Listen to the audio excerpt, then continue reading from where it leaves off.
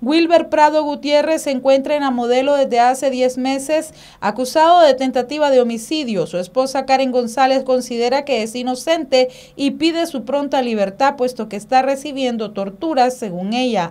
Él se llama Wilber Antonio Prado Gutiérrez, tiene ya ahorita va a cumplir 10 meses de estar ahí preso y él es un preso político, solo por, por estar en contra de este régimen de Ortega Murillo y este, a él lo están acusando de intentativa de homicidio. Diez meses va a cumplir ahorita, ya diez meses de estar preso él en el sistema.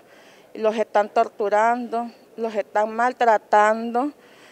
ellos si no llegan a, este, a agarrar la comida, los amenazan, los sacan de su celda, los están llevando diario, diario a consulta, no sé a qué consulta les están dando porque ni siquiera una pastilla le dan a ellos, a ninguno de ellos.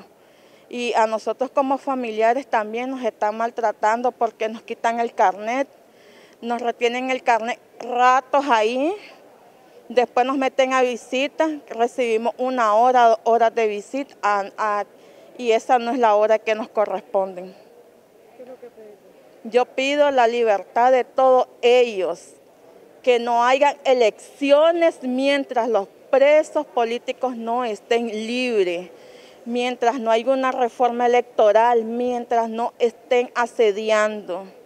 Karen afirma que para la familia ha sido difícil tener que lidiar con el hecho que el sustento del hogar era Wilber. Bueno, para ellos ha sido muy duro, muy duro para ellos porque el haberlo ahí y no poder ir ni siquiera a la visita porque no les están permitiendo a los niños y esto ha sido muy duro para nosotros, tanto como para él, para nosotros los familiares también. Sí, yo por ejemplo, yo estoy sufriendo porque él era el, el sostén de mi hogar, él era el que sostenía, él era el que me apoyaba a mí, a sus hijos, porque no solo conmigo, tiene aparte otro bebé y entonces ya no.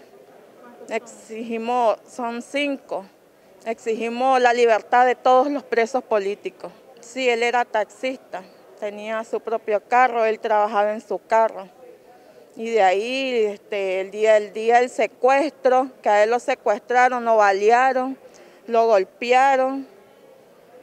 Y desde entonces, ahí está él, secuestrado, porque está secuestrado.